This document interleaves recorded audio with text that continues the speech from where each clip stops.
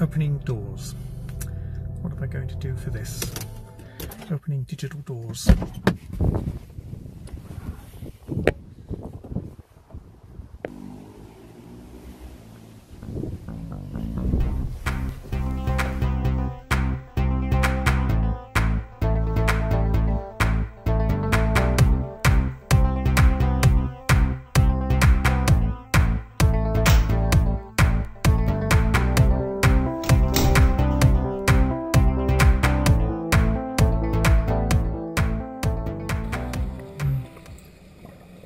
Floating above a wreck, out in the Mediterranean, trying to hold my breath.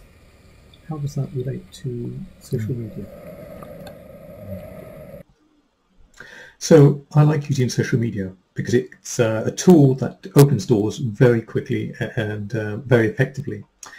So I can communicate with people around the world. I can communicate with groups of, in my case, digital librarians uh, across Europe and get back interesting information on that particular subject. I can communicate to a whole group on augmented reality and virtuality and uh, digital art, and I can send out a question to them or pose an, uh, a query and get back replies from that particular group on Twitter. So that's great. Um, and in terms of my own personal use, if you look at um, an example here, if I start this, this is um, swimming out in the Mediterranean, um, swimming towards a, a black hole in, in, the side of a cliff face underwater. And it's because Facebook, years ago, showed me, because it knows I have an interest in swimming underwater, that I could learn to do a course and learn to hold my breath. Wow. That's spectacular. like when cheese.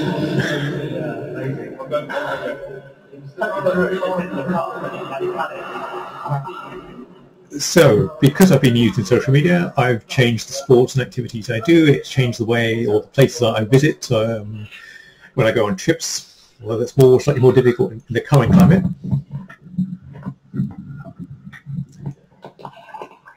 But social media, used correctly, has got fantastic opportunities for you. It's important that you have a good social media presence. You use it appropriately. You use a rule of thumb where you say, if I'm worried about sending out a post, um, if, I'm, if I'm hesitating, if you're having to hesitate about sending out a post, don't do it.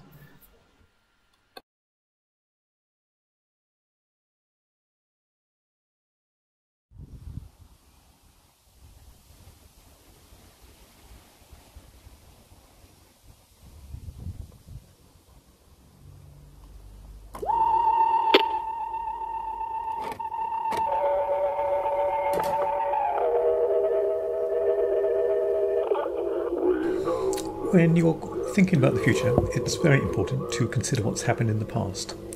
And if we go back uh, about 50 years, this is the equivalent to an MP3 player from the early 1970s. And this one, in fact, was um, owned by an ex-Vietnam vet, and he used to, to uh, record his messages to send back to his family. So at the same time that this uh, MP3 player existed, so to speak, the Apollo 11 was going to the moon, and it had an onboard computer for its navigation systems, and that computer consisted of about 4K. It occupied a space of about just under half a square meter. So, um, if you'd like to think, how big would your phone be if it was using the technology from 50 years ago that put man on the moon?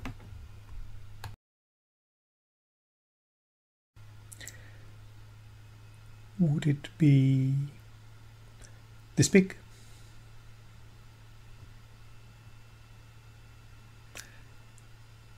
You might choose to have a ponder on that.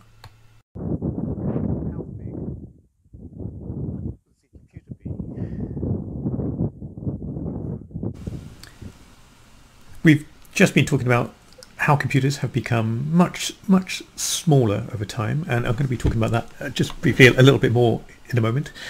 Uh, but they've also become incredibly faster.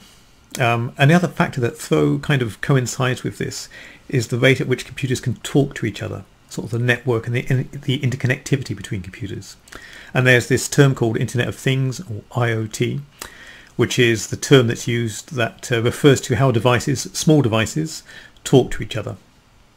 and how there's an awful lot of power and potential for that type of technology to be able to do an awful lot more without going into specifics. So here we have got a little chart of uh, uh, communication rates. So years ago, decades ago, I would have been sitting at my desktop and um, the download speed from the internet would have been something like 9,600 baud rate. That's 9,600 bits of data per second.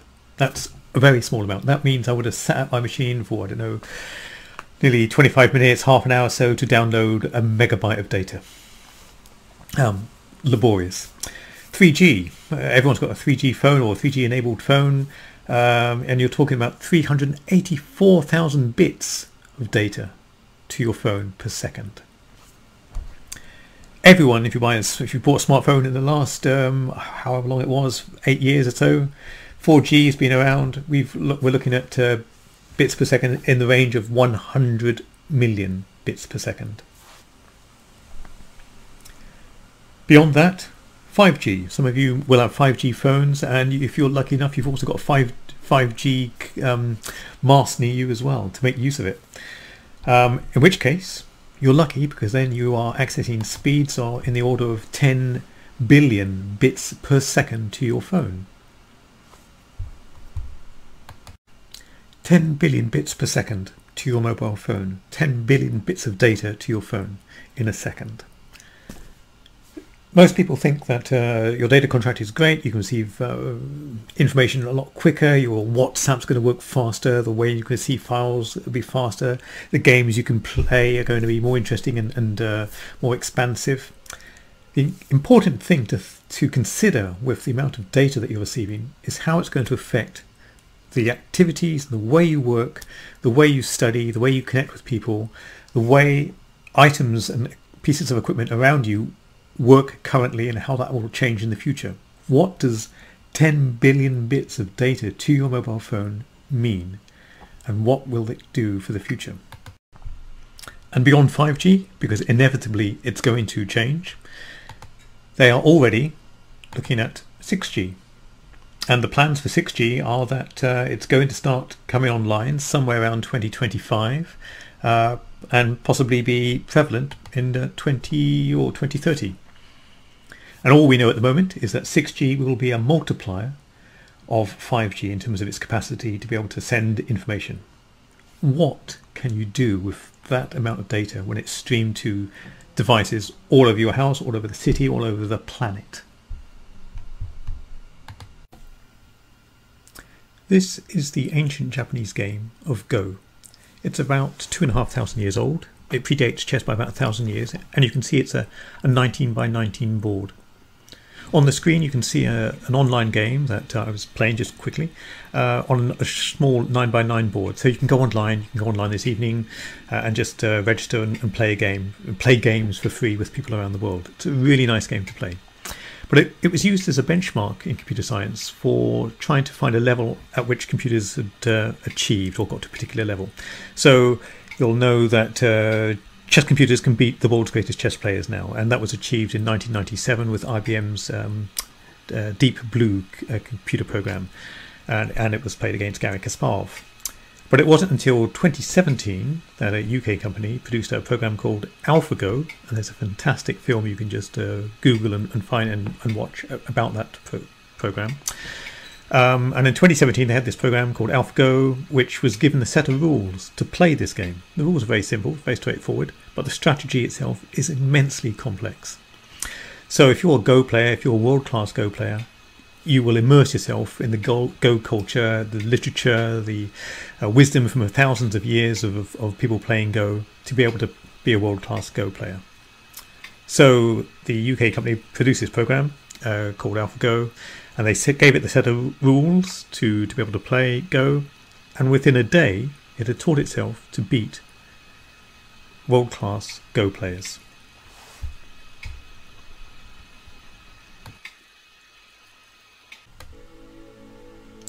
With all of these developments in computing, it's not just a case of thinking, well, things are going to get smaller. The uh, my phone's going to work faster. My uh, gaming console at home is going to be better.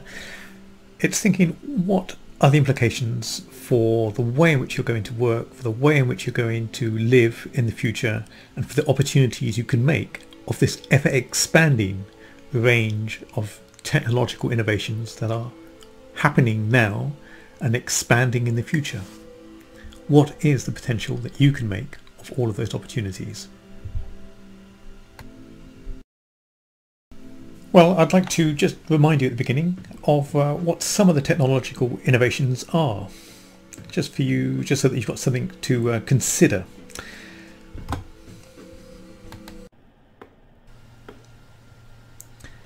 So, even if you don't use computers and you have no interest, you might just stumble across one in Milton Keynes. Here we have a, a little drone delivering parcels from Amazon, um, working its way around uh, pedestrians. So it's a little remote drone working its way through Milton Keynes and trying to avoid pedestrians.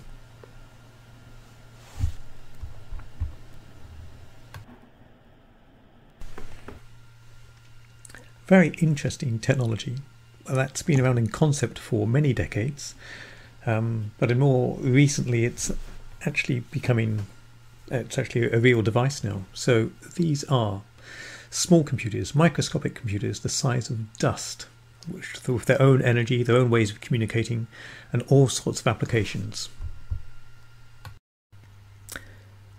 This slide shows you a small smattering of some of the different types of technologies that are currently out there. Currently out there and some that are still being developed. So I'd like you to just consider looking at the screen some of the technologies that uh, might you'll be familiar with and think about how they might be used with the different vocational areas that you are either working in or interested in going in, whether it's medicine or agriculture or retail or farming, whatever. How do some of these technologies relate to those different work areas? Now consider having pushed all the uh, technologies to the left hand side of the screen, how some of these might impact upon different vocational areas. So let's take um, farming. Um, so I know someone who's a farmer. Um, and uh, how might GPS and so forth be used with uh, in, a, in the farming agricultural sector? Uh, retail. How will some of these technologies impact upon retail and shopping? Um, how will some of these technologies impact upon um, architecture?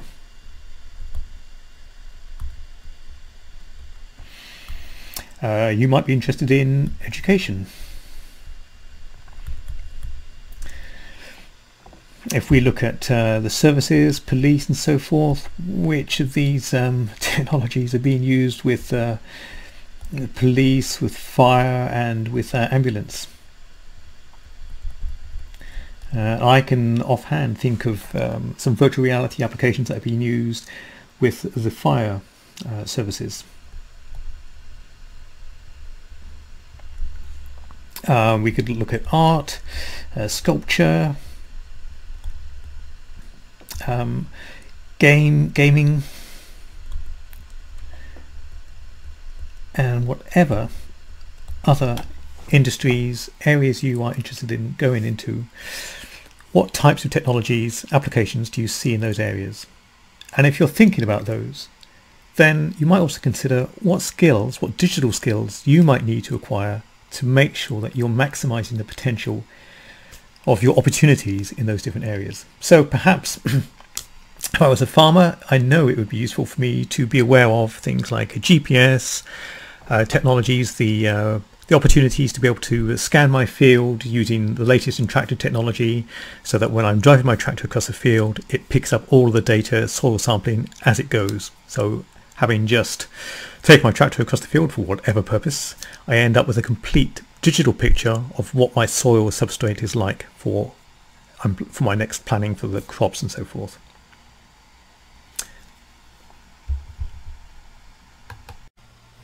I'd like to just mention an example of some of the stuff I come across um, related to the work that my colleagues do.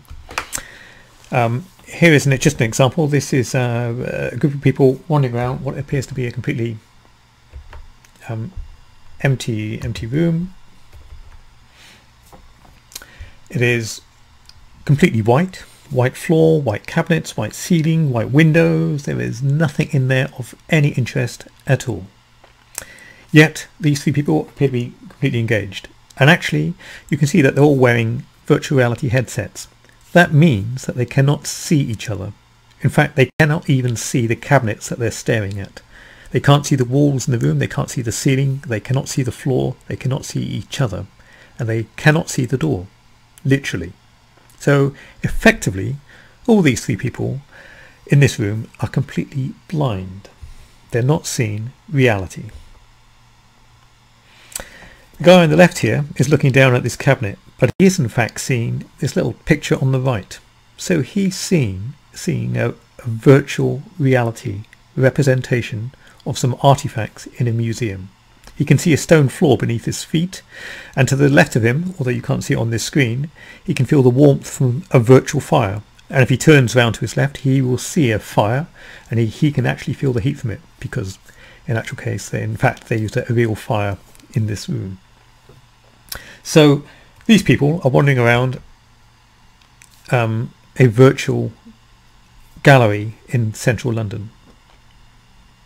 And this is what they are actually seeing. So they can see little splodges where other people are, and they're walking around this virtual room. This is an imagined room created in virtuality. This is a little argument as to why networking and social media is very important. Down in the bottom left hand corner, I've got um, people like my family who know me very well. They've known me uh, most of my life. Beyond that, I've got uh, friends.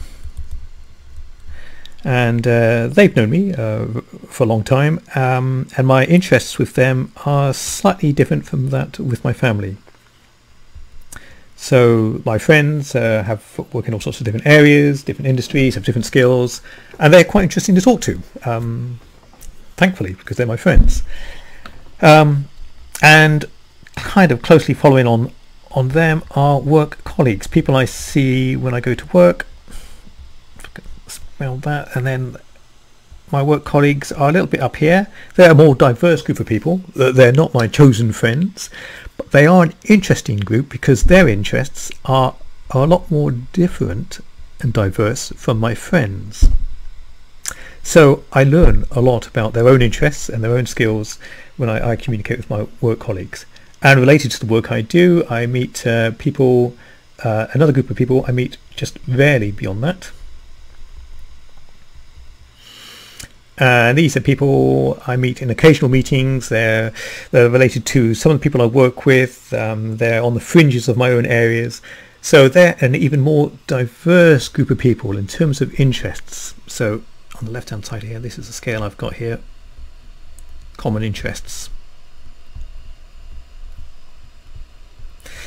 And this group of rarely people that I rarely meet, they might be in business meetings. I've got interests in all sorts of different areas. And if I meet them, I come across and I end up exploring ideas that I'd never thought of at the beginning of the day. Ideas that I never knew existed at the beginning of the day. There are a group of people that will open me up to that. So networking is really important because beyond this group of people here, we've got another group way over here and these people that I've never ever met and am, am, am and am very unlikely to ever meet. Uh, and this group of people are, in terms of uh, learning stuff and exploring new ideas, are possibly the most interesting group to meet. An example of that is um, using Twitter to communicate with uh, some scientists in a submersible off the west coast of California. So they were using Twitter to communicate to the world uh, for anyone who was interested. So I can have a, a, conversation with them using a social media platform. They're people I'm never going to meet, but it was very interesting seeing on video what they were looking at and being able to ask them some questions about some benthic uh, organism on on the floor. So social networking allows you to go from just dealing with your colleagues where you're promoting stuff to being able to communicate effectively and interestingly with these other groups. And it's these kind of groups here as we go up if I choose a different color as we go up here that give you opportunities to explore new ideas. And that's where social media is very important. It takes you away from just dealing with uh, your friends and the people that know you very closely around here. And it opens up opportunities to you that you would not have seen, not have, not have explored if it were not for the value that social media brings. In summary, three tips for opening digital doors. One, develop your skills and keep on developing them. Things will always change, so your skills have got to change and you've got to adapt with everything that happens. So always look to update and carry on learning. Two, network. There are lots of opportunities and things you do not know, you're not aware of. You'll only find those by networking with people on that curve, further away from your friends and family. Three, explore proactively look for areas of interest. Uh, attend online talks, attend online presentations, uh, go to online meetings and forums, chat with people, explore what's out there, explore what's happening, um, keep ahead of, of your subject area. And kind of linking with all of that is this little notion that when you come across new challenges, someone asks you to do something or you're faced with something that you've not done before, you'll often find that um, there's an awful lot of apprehension about doing that. Uh, and that's completely understandable. But kind of see that apprehension as an opportunity. So all challenges are really opportunities because on the other side of a challenge, you get there very successfully, is a sunnier picture. And even just working towards the challenge will get you some of the way to acquiring new skills and new opportunities. And that's what you need to do.